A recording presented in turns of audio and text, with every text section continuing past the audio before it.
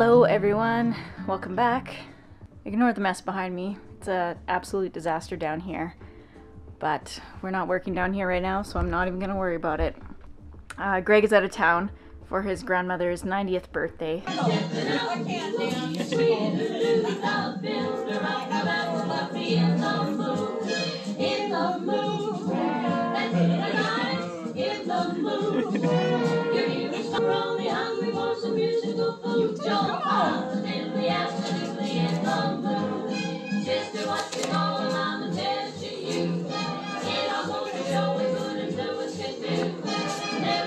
Uh, he's not going to be in a lot of this video. I think he'll be back tomorrow, so we'll see if we get up to anything or if he's needing a rest day or not. I'm very excited. I just picked up our new mattress. We've been using a double bed in the bus for like three years now, I think.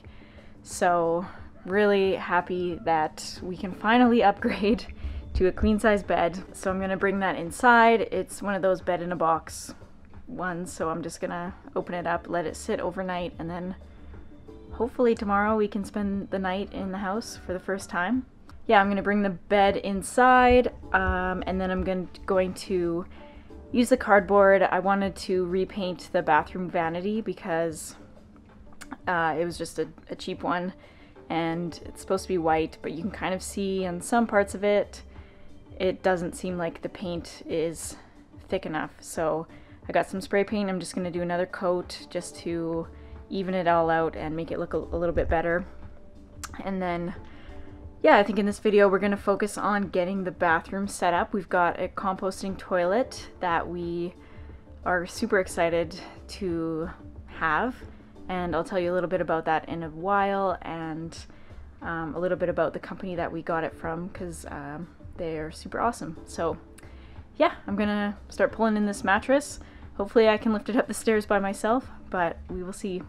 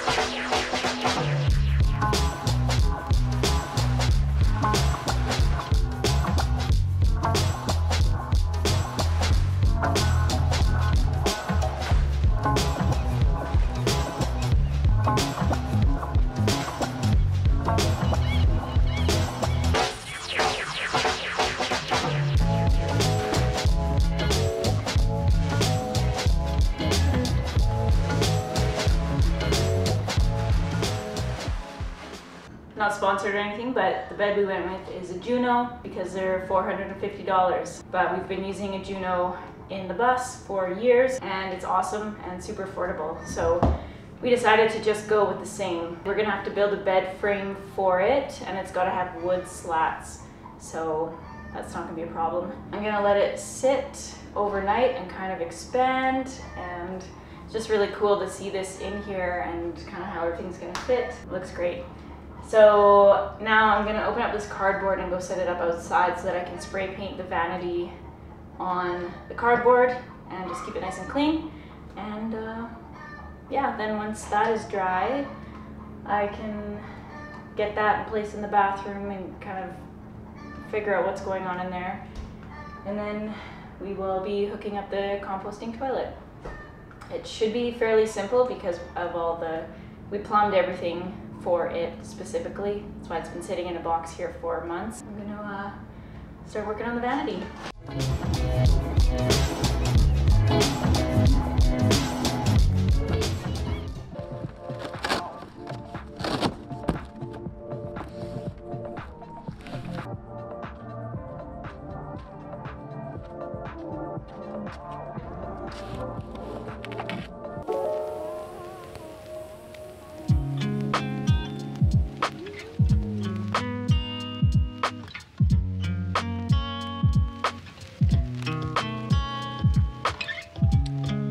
Terrible.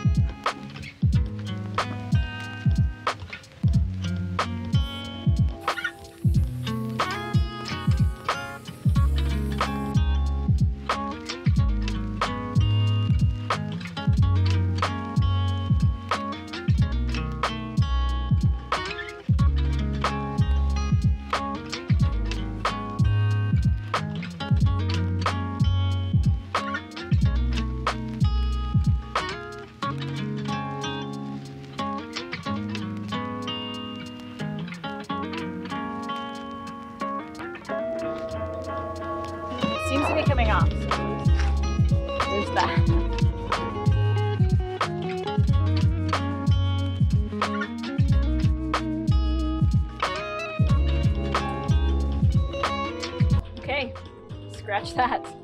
Uh, yeah, that did not work out.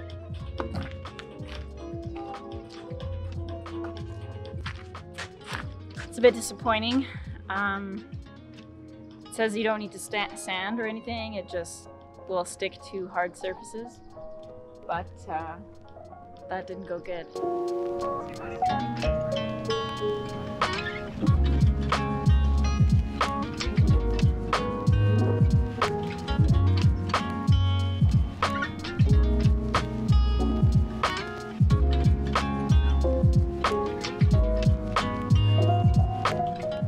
Was a bit of a disaster painting the vanity. I uh, quickly wiped it off with Varsol before it dried on the front. I only painted the front and the side that's going to be against the wall. So I think it's going to be okay. I'm going to take that as a sign to just leave it as it is. And yeah, I'm not going to paint it right now. If it's bugging me in the future, I can paint it, but for now, I just really don't want to deal with sanding it and trying to get the paint to go on nicely. Greg is home from his trip now, so we are going to work on getting the toilet installed.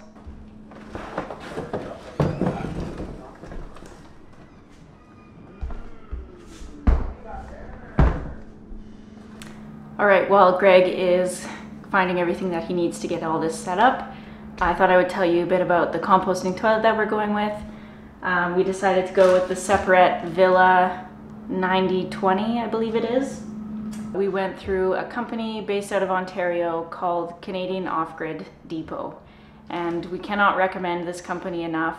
It is a small family run business, and he carries all kinds of um, off grid stuff, composting toilets, the unique brand propane stoves, fridge, solar fridges, um, solar gear.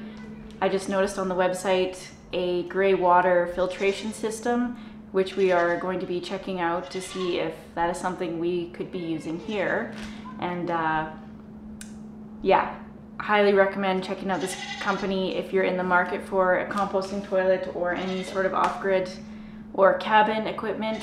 We'll put the link down in the description. You can go check out their website, let them know that this Off-Grid Life sent you.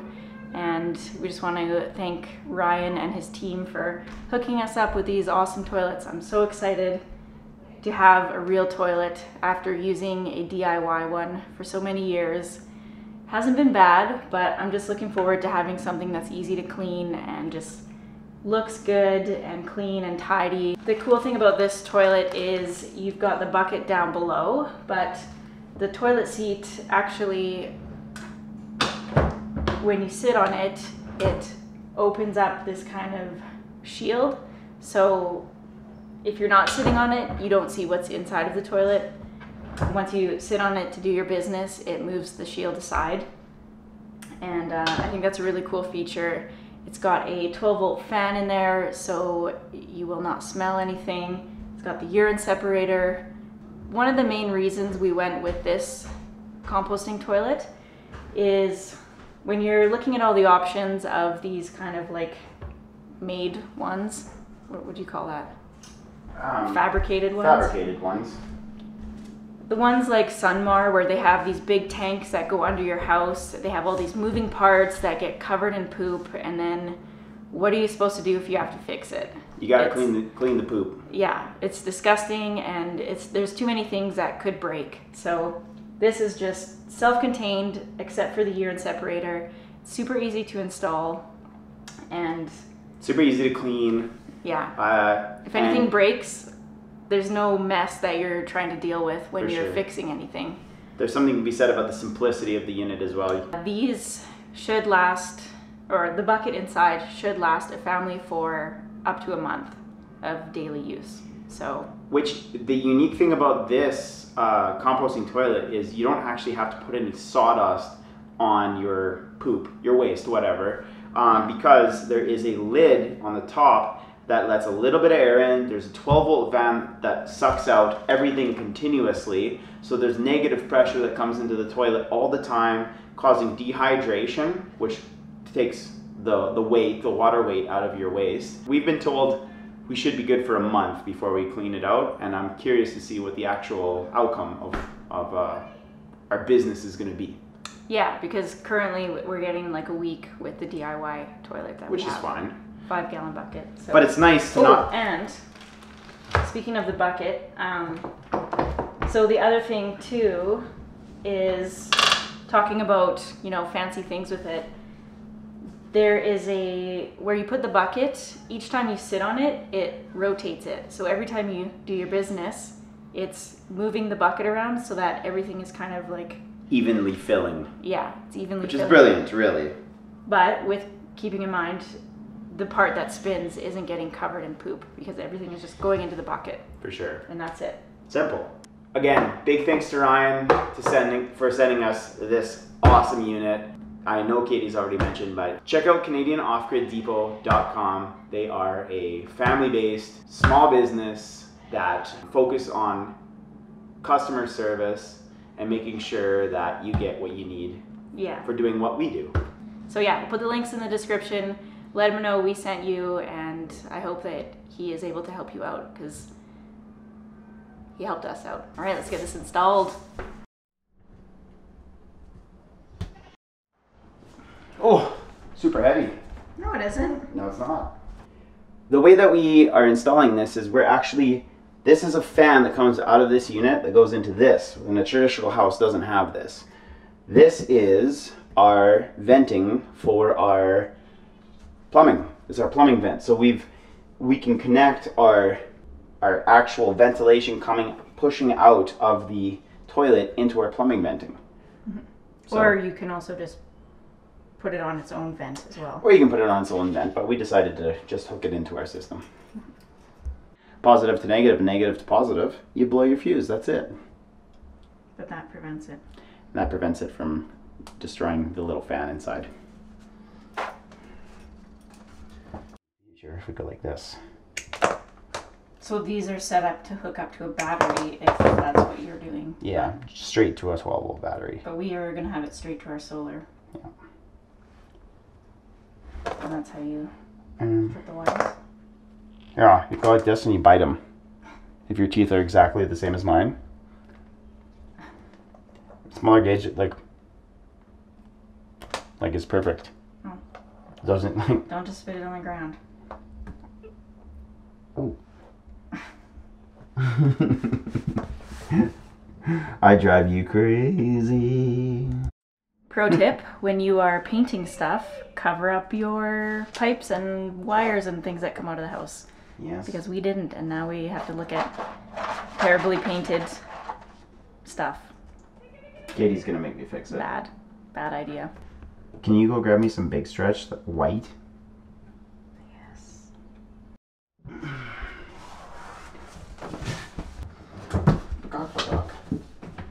It's hard to film in a tiny room like that. I'm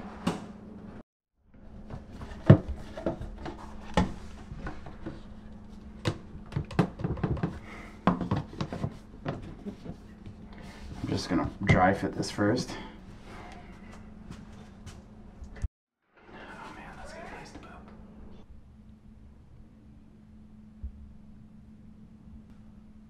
Gluing.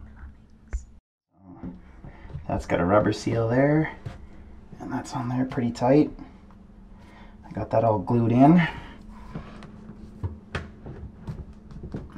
So our plan for that, the reason why we wanted the toilet on kind of a an angle is we're gonna do shelving in the corner for toilet paper or whatever.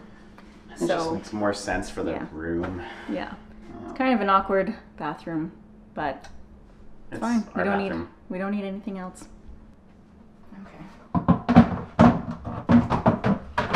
So it goes like that. Uh, they do also give you some compostable bags. So You're gonna throw one in? May as well. yeah, until they run out because I don't really want to keep buying bags.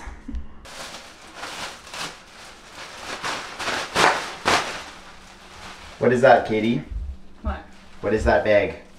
Poo bag. It's a poo bag.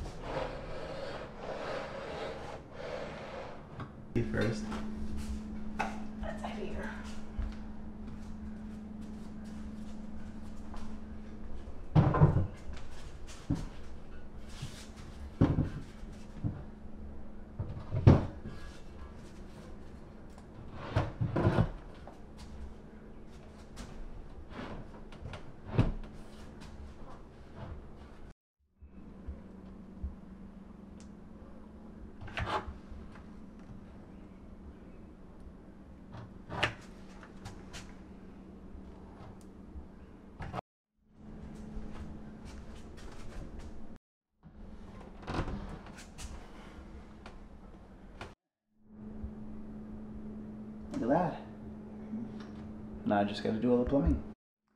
All right, that just about wraps up the bathroom. Uh, I'm gonna have to pick up a faucet tomorrow, and this is my mental reminder that it's a one-hole faucet. So A one hole faucet. Leave it in the comments so that Katie can remember, even though that's in the future. One. yeah. So yeah, we'll probably see you tomorrow when we install the faucet, and uh, Clean up the bathroom and, And install plumbing. plumbing. and then that'll be it. But see you tomorrow. Oh,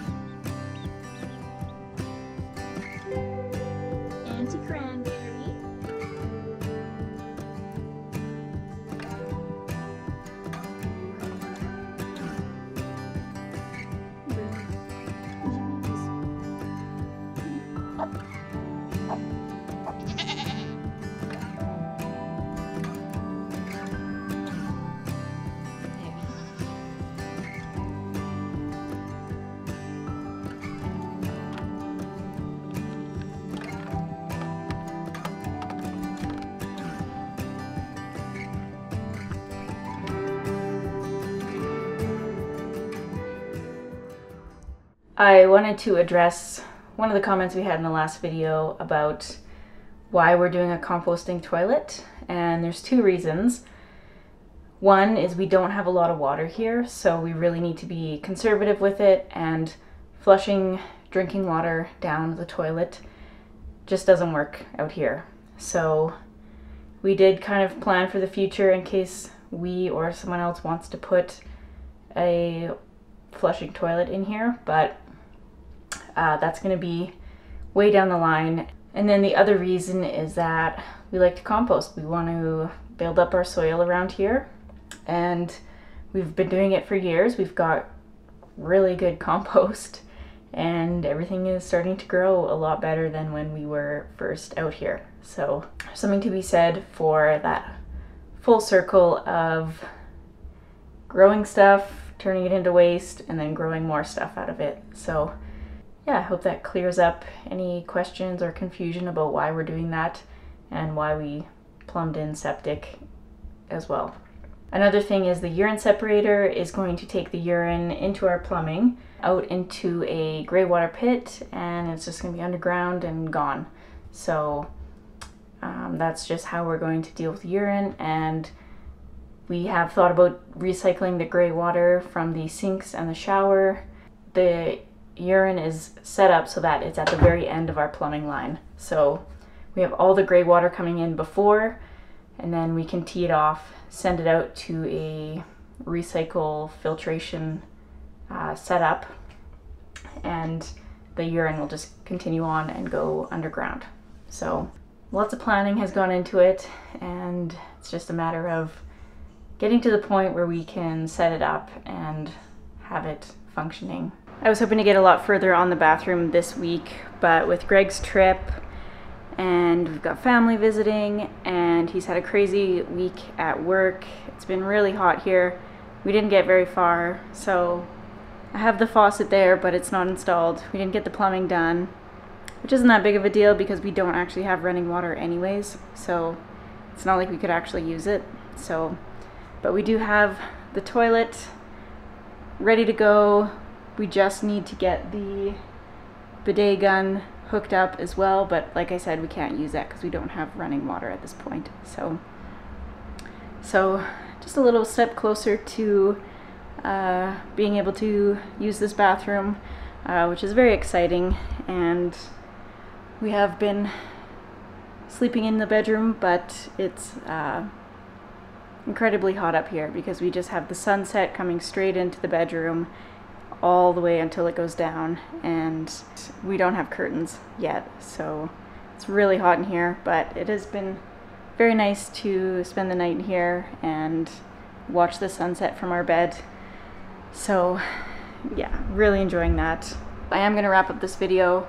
It's gonna be more unfinished projects but that's just how we roll around here so Thanks for watching and go check out Canadian Off-Grid Depot if you're looking for some off-grid appliances, composting toilets, cabin equipment, solar, gray water filtration systems. He's got everything and we cannot recommend that company enough. So links are in the description. Thanks Ryan for helping us out and uh, we'll see you all in the next video.